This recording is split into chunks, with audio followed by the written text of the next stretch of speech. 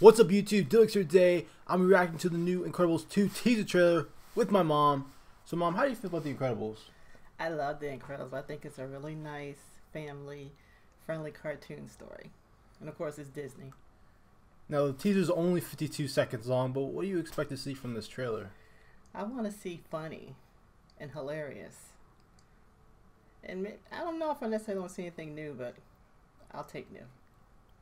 Alright, that being said, without further ado, let's get into it.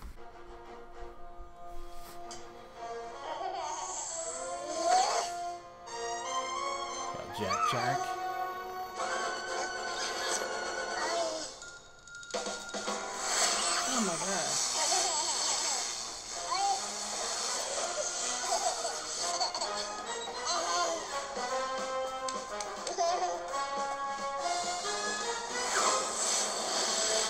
Okay, that's smart.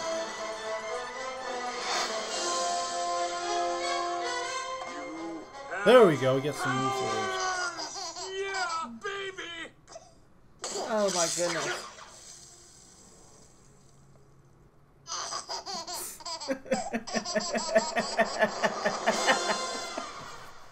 Well, there you have it.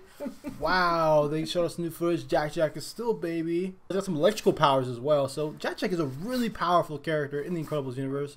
Um, how do you feel about them not doing a time jump? That's one of the things I really wanted from the Incredibles 2.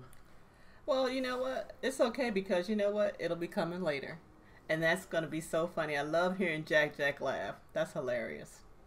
Yeah, I do too. But if you guys enjoyed my reaction, make sure to hit the like button and subscribe for more content of me. I'm really excited for Incredibles 2. It's been 14 years, Mom. We had to wait 14 years for a sequel. We finally got it.